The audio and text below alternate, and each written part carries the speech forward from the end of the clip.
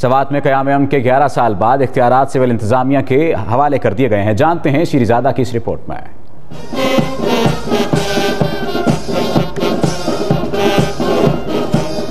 دو ہزار سات میں سوات کی خوبصورت وادی کو کسی کی نظر لگ گئی۔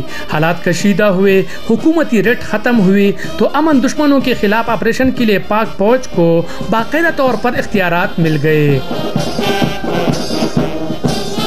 یہ اختیارات گیارہ سال بعد سیول انتظامیہ کے حوالے کر دیے گئے۔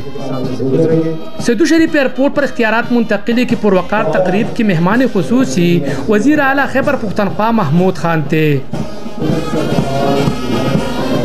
تقریب میں کور کمانڈر پشاور نظیر بٹ اور آئی جی خیبر پختونخوا صلاح الدین مسعود بھی شریک تھے۔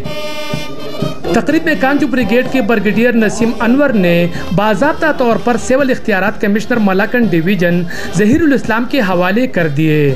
تقریب میں صوبائی اور قومی اسمبلی کے ارکان سمیت علاقے کے معززین نے بڑی تعداد میں شرکت کی۔